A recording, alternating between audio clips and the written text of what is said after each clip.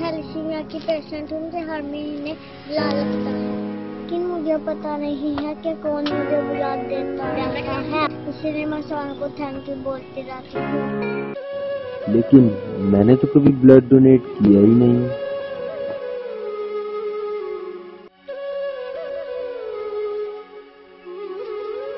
देकर देखें अच्छा लगता है।